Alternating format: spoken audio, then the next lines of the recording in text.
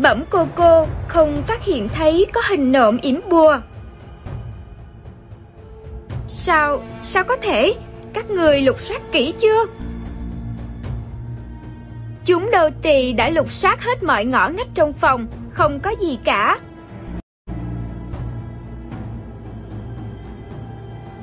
Không thể, chắc chắn là các người.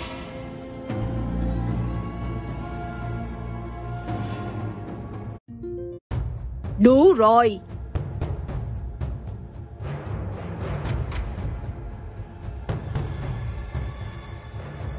Nếu đúng như vậy, thì là do hiểu lầm. Mong cô nương tha thứ. Mà mà cũng làm việc theo lễ công bằng, nhưng không có chứng cứ mà tùy ý du khống người khác. Không biết là tội gì.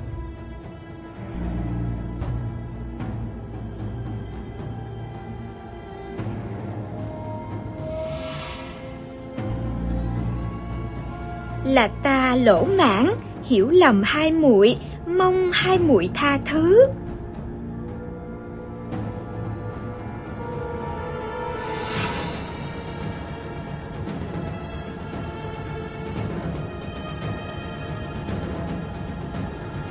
Cũng may không có nguy hiểm.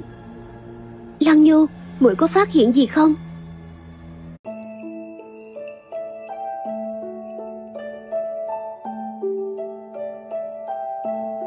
Hiện ra rồi, tỷ tỷ nhìn xem.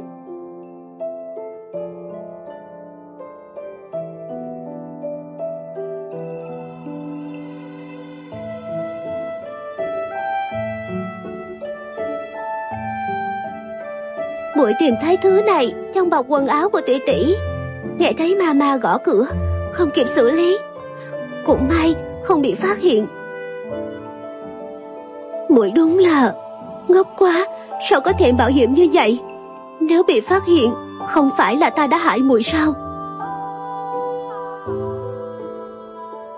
tỷ tỷ tốt với muội như vậy, muội đương nhiên phải báo đáp tỷ tỷ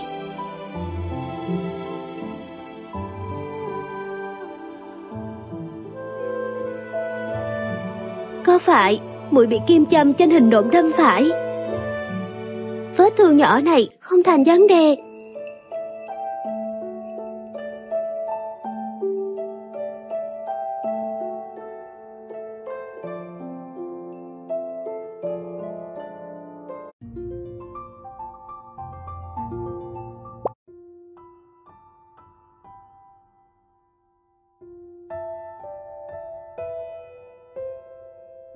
Tỷ ngự thiện phòng khói lửa dày đặc, nếu dính vào y phục thì sẽ rất khó giặt sạch.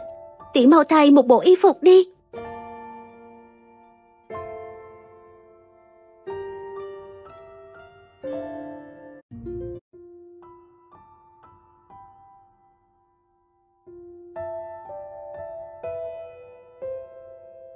Chư vị tú nữ đều đã vượt qua thi nữ công ngày hôm qua.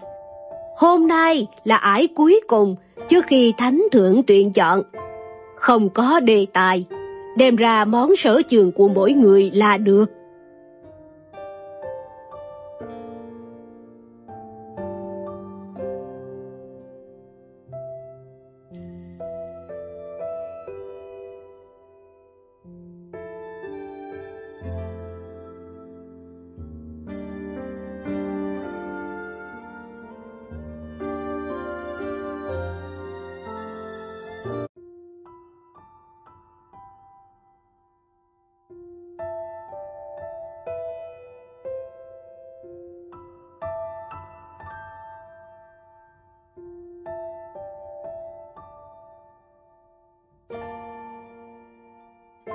Hừm, tỷ muội hai người liên thủ, thật đúng là có bản lĩnh.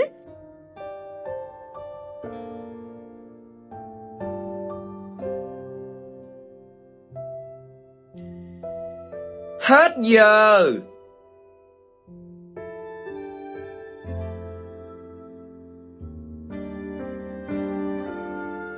Đợi lão thân nếm xong, nếu hương vị thơm ngon sẽ cắm lên chiếc que xiên. Chư vị đã rõ chưa?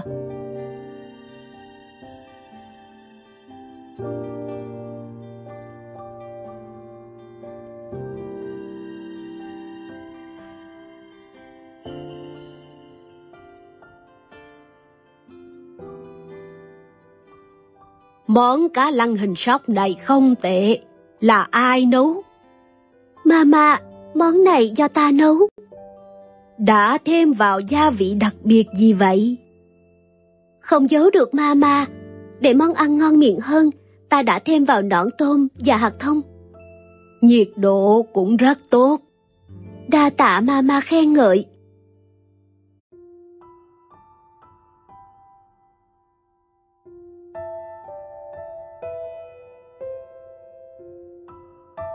tiểu nhân đắc phụ thân. Con gái chỉ còn một bước quan trọng cuối cùng nữa.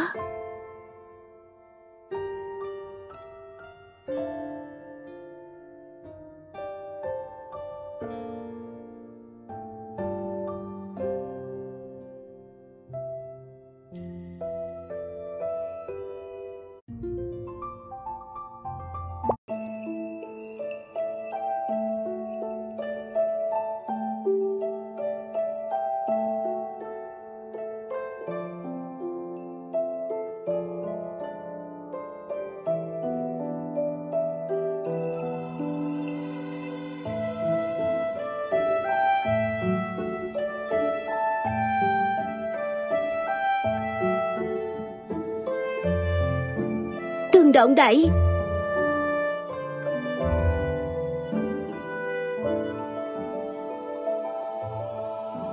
tỷ không cần hoảng sợ, không vấn đề gì, chỉ là khí huyết không đủ mới bị ngất.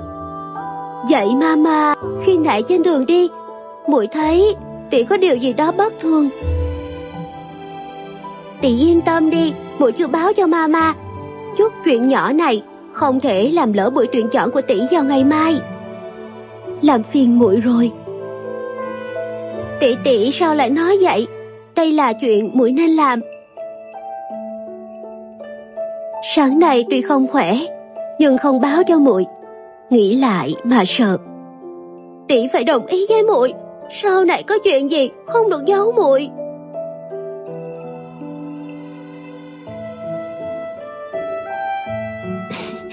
Trò trẻ con này khiến ta cảm thấy thoải mái hơn đó tỷ tỷ nghỉ ngơi đi muội mang canh đến cho tỷ.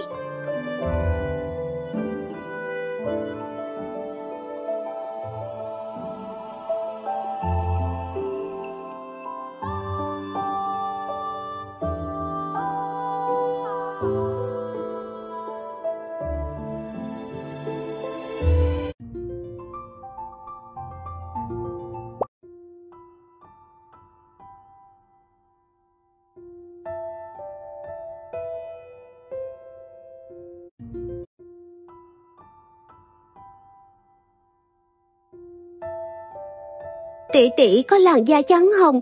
Bộ y phục mới này rất hợp với làn da của tỷ. Trên y phục có bức tranh sơn thủy tô điểm, khiến muội nhớ đến câu, cơ phu băng tuyết oánh, y phục dân hà tiên.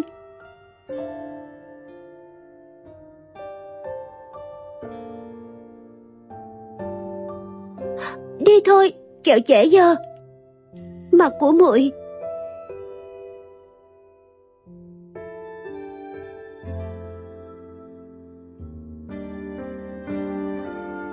mặt mũi làm sao?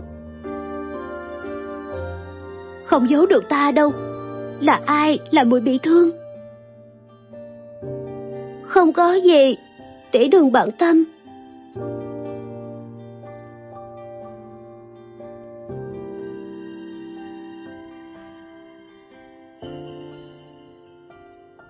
Thánh thượng có lệnh, tuyển chọn năm nay sẽ diễn ra ở chỗ tác mãn thái thái. Đợi khi đến ngự hoa viên, các vị tú nữ nghe sắp xếp tiếp.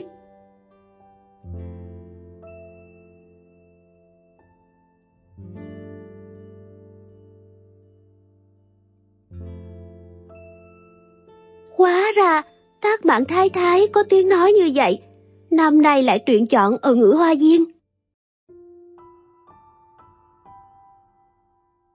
Có lẽ Thánh thượng đã nghe theo ý kiến của bà ấy. Lo lắng quá.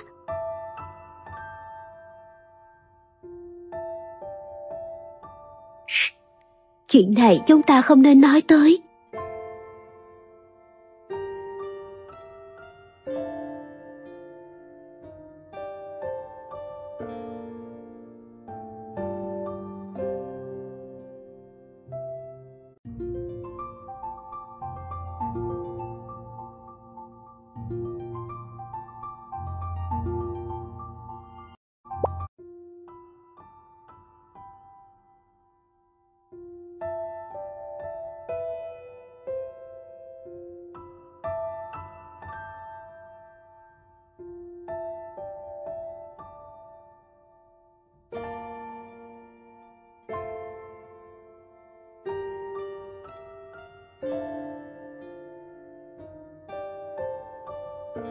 Thanh thượng giá đao.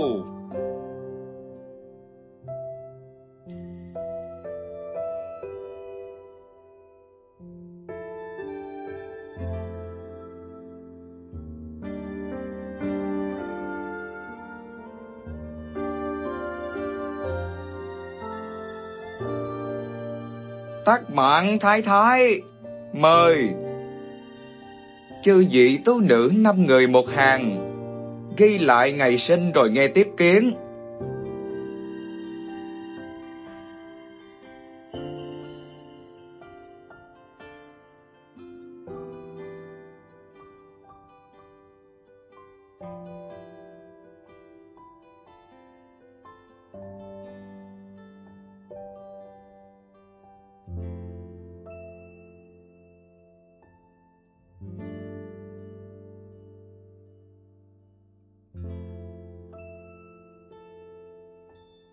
Chư vị tú nữ nghe đây, lão thần sẽ còi bói cho các vị. Vị nào khai không ngài sinh sẽ lập tức ban qua. Đã nghe rõ chưa?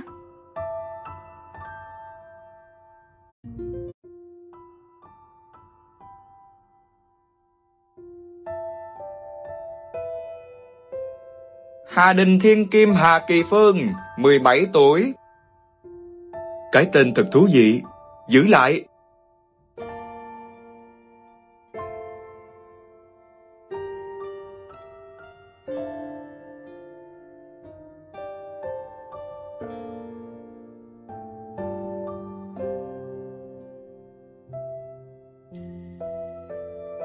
Ném thẻ đi, ban qua.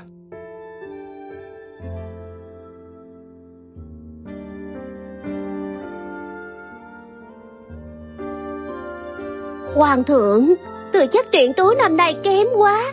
Hay là đừng xem nữa.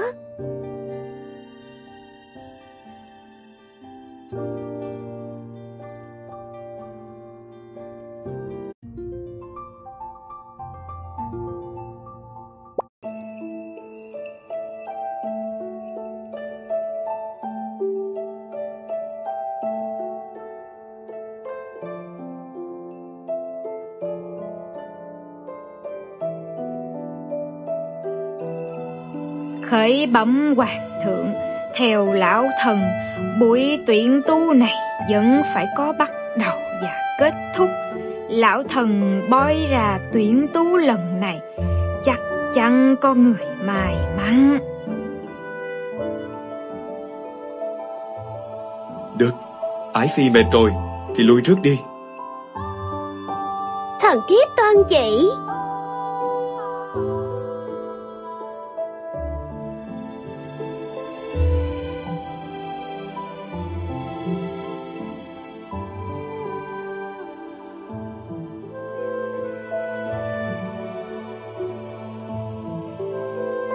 gan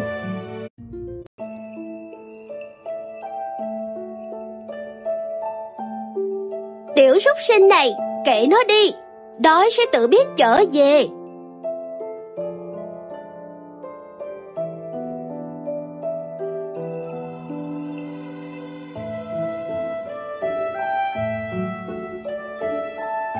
Truyền năm người hàng tiếp theo.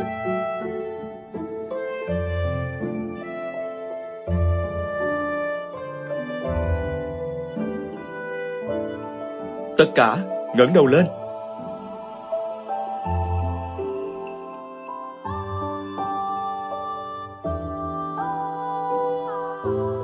Thần nữ lương giai lăng nhu tham kiến thánh thượng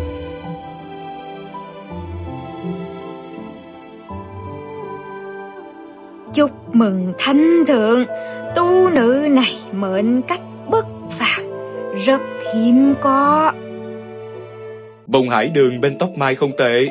Giữ lại. Lương dai lăng nhu, giữ lại thẻ, tặng túi thơm. Người tiếp theo, con gái thừa thụy nguyên phụng thiên phủ 16 tuổi.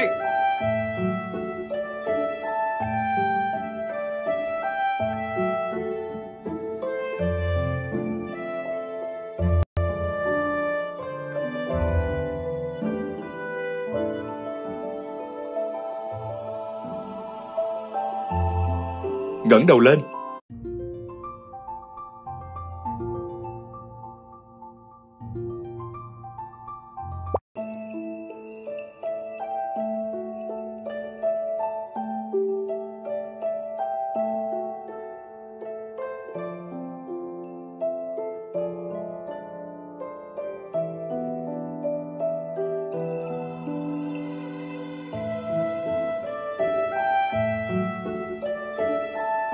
Ngươi có biết bức tranh theo trên y phục của ngươi là nơi nào không?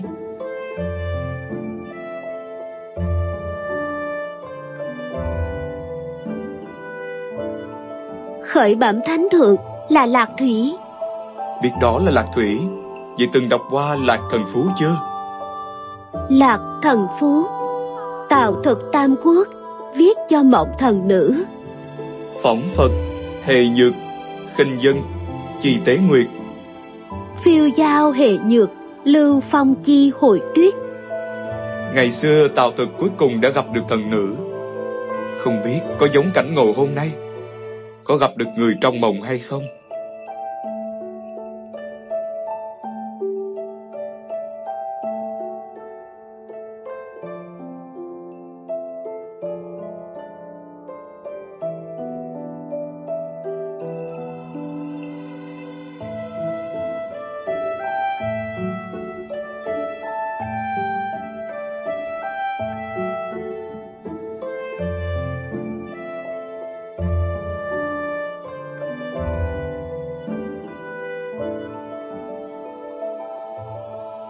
Khởi bẩm thanh thượng, khi lão thần còi boi cho tú nữ này, phát hiện quẻ rất mập mờ, khó phán đoán phúc quả.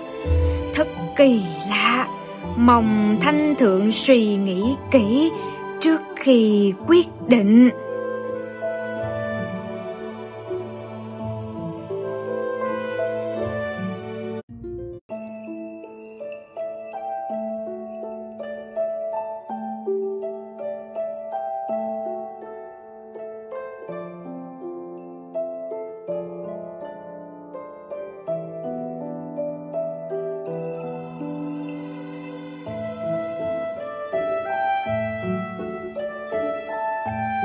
Trẫm nhớ ngày xưa Lạc Thủy thần nữ mệnh cách cũng khó đoán như vậy. Thế nhưng cho là quả Nhưng thần nữ sinh con cái nối dõi tiên hiền Chính là phúc. Không sao, giữ lại. Giữ thẻ ban túi thơm.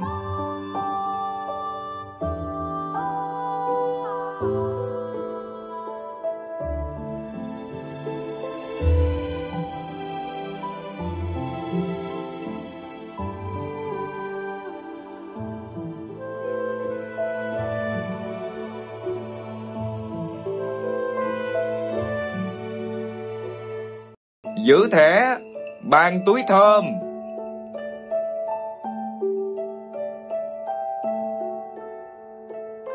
Thần nữ tả chủ long ân.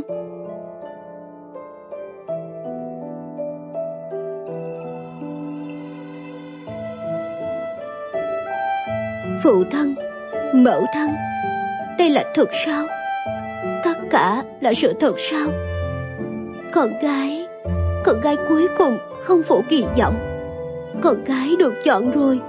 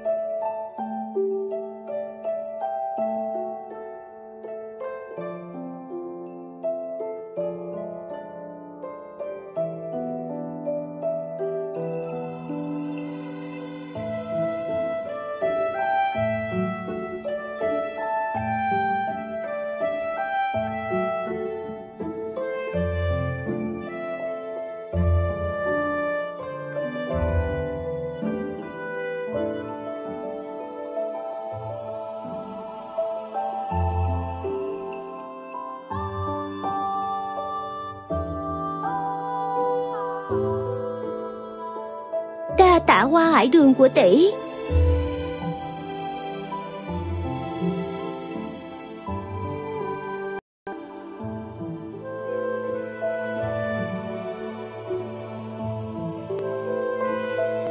Khi nãy tỷ đối đáp lưu loát, muội nghĩ thánh thượng sẽ thích tỷ.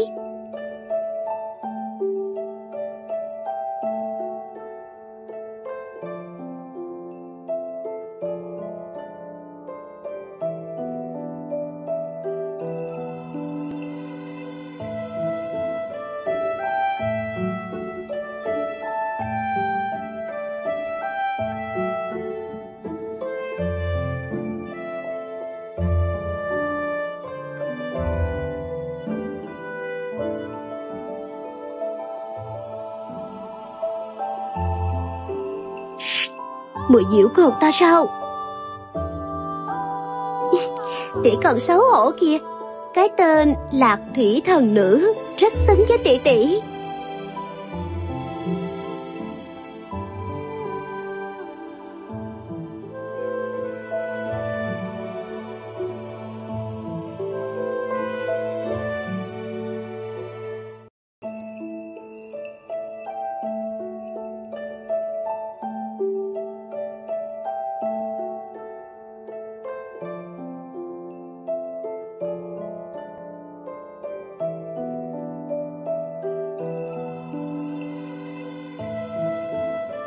Thánh thượng tuyên dụ, Thái binh thừa cũ Trẫm tuyển tú nữ, Đều phải dịu dàng tục nữ Sớm tối không được trái lễ nghi.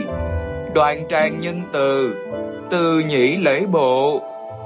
Nhận ý chỉ của trẫm Tu nữ nghe phong.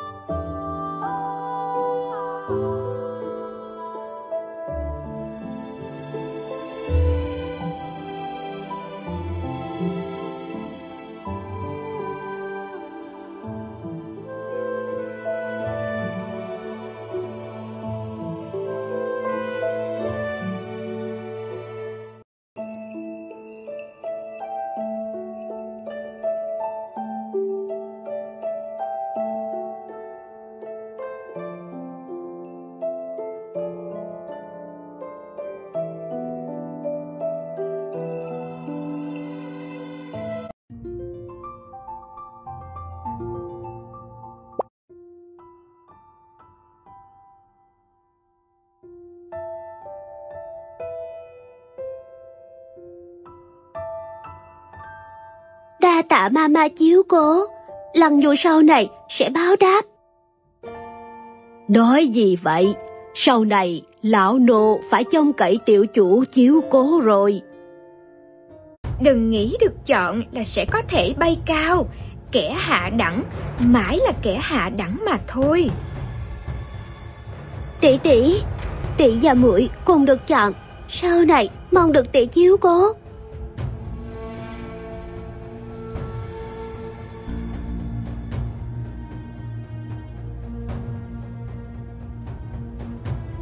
Bây giờ nói chuyện mạnh miệng lắm. Nghĩ rằng mỹ thuật cài hoa hải đường Có thể giúp mình có được thân phận quý nhân sao?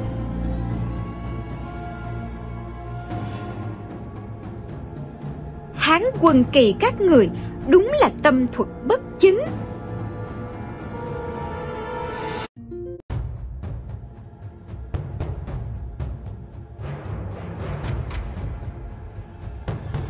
Lời này của tỷ sai rồi. Ban chức gì là ý của thánh thượng Đâu phải cho đua. Được chọn là nghĩ mình lợi hại sao? Bản lĩnh lắm.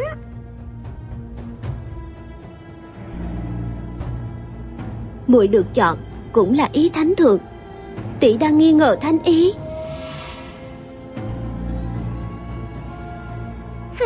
Hôm nay sẽ được phong làm thiếp chắc. Đắc ý cái gì chứ?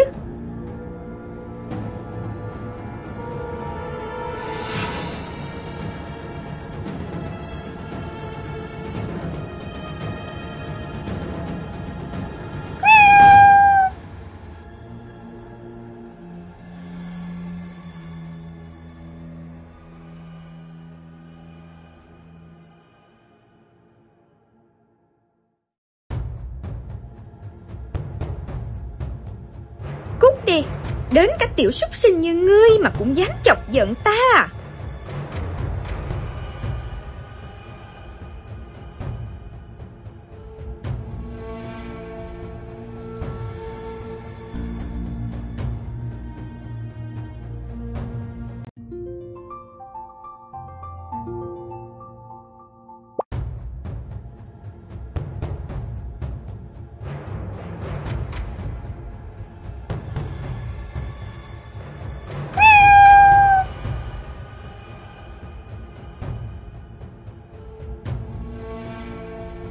Tỷ đây là mèo của quý phi, đừng làm nó bị thương.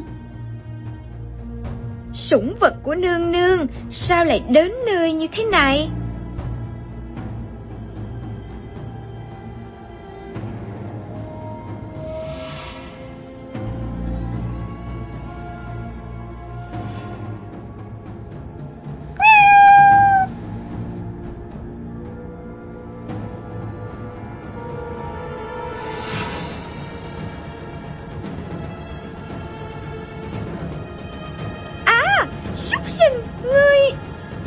Mèo này chắc chắn là người đem tới để hại ta.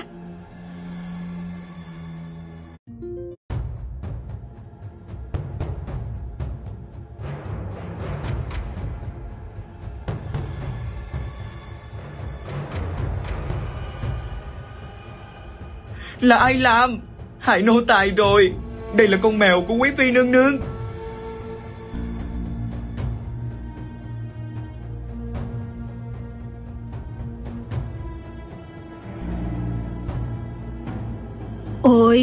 Minh Châu tiểu chủ, cô gây ra họa lớn rồi.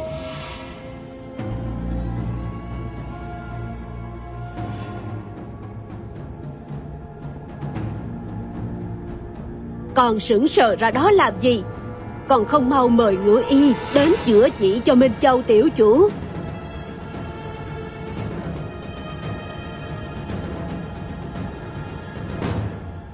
Diệp ngựa y nhờ người khám cho vị tiểu chủ này. Mà mà khách khí rồi, đây là nhiệm vụ của Đình Châu.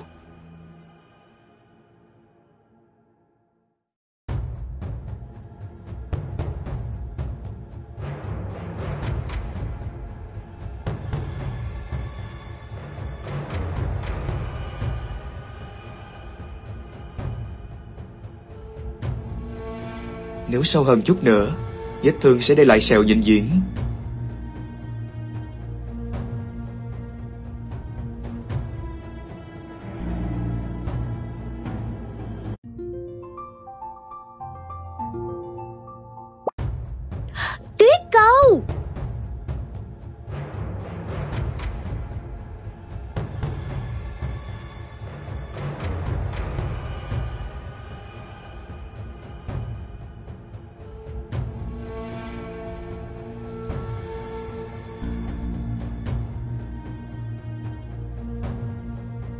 Nói đi, có chuyện gì?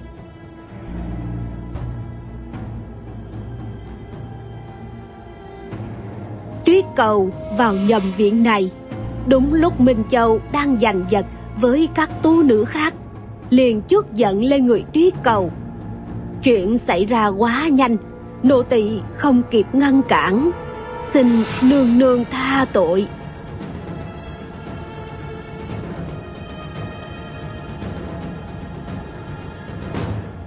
Khởi. Tú nữ này lại dám làm hại sủng vật của ta. Dạy cho ả một bài học.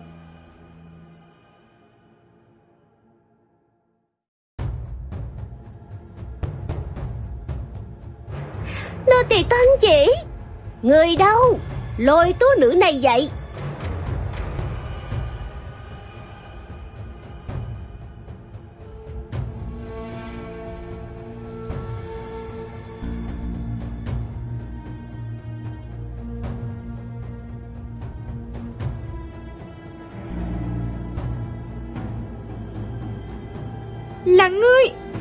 Định là ngươi hại ta.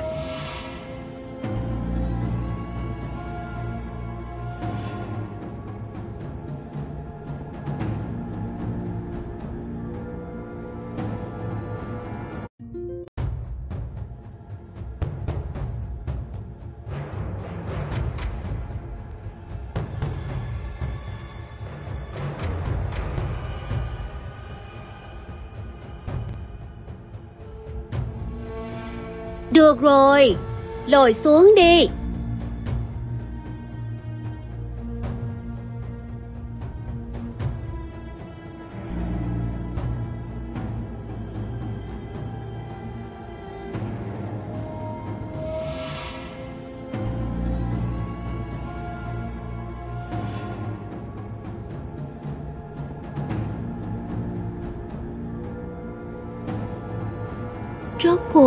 Ta đã nhìn thấy huynh ấy ở đâu Diệp Ngự Y, Chúng ta giúp huynh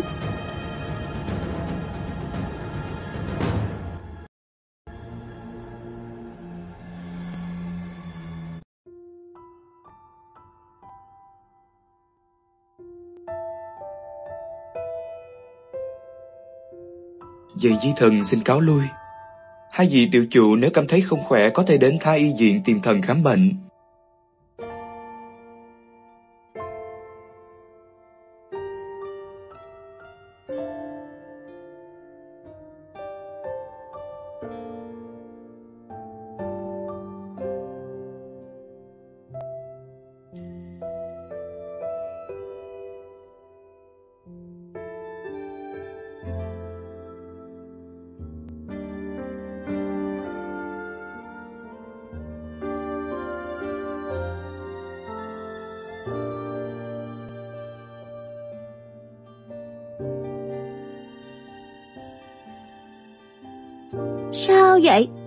Tỷ mềm lòng rồi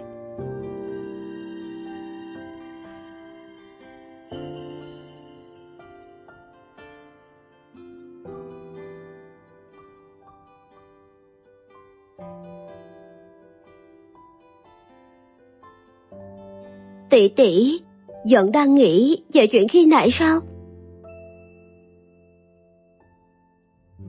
muội lại thấy cô ta gây tội thì phải chịu tội.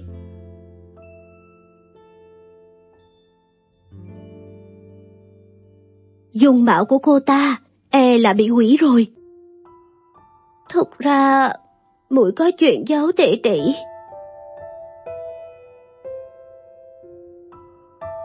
Hả? Muội cứ nói đi, đừng ngại.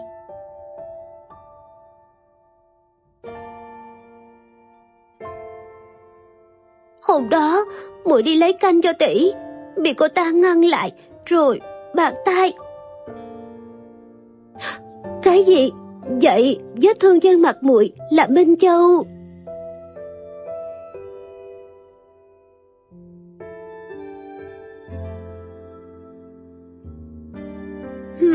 muội sợ ảnh hưởng đến tỷ, nên mới không dám nói ra.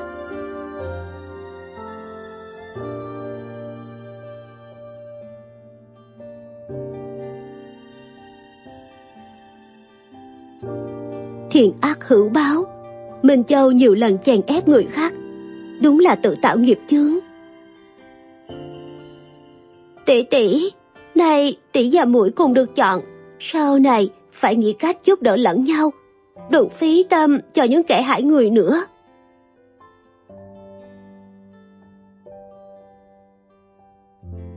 Trong cung này đấu đá không ngừng, sau này còn có thể đứng dưỡng trong hậu cung không?